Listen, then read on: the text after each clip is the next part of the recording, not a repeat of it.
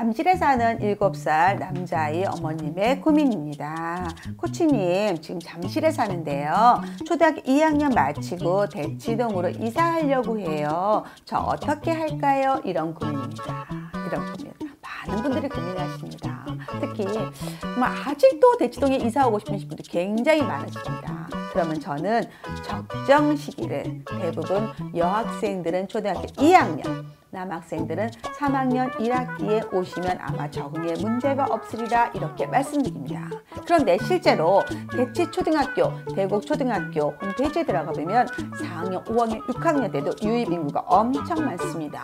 그때 전학을 많이 오신다는 뜻이죠. 자, 그런데 이거는 각 가정의 경제력과도 관계 있고요. 아이의 실력과도 관계 있고 아이의 기질하고도 관계 있습니다.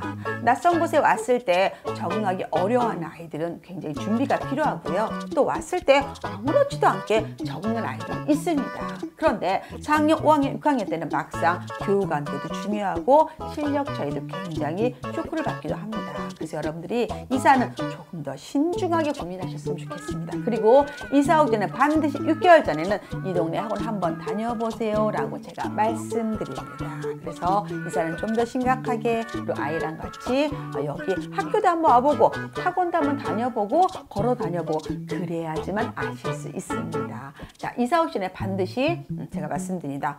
만일에 여건이 되시면 새로운 코치랑 상담 한번 해보세요. 이렇게 추천드립니다.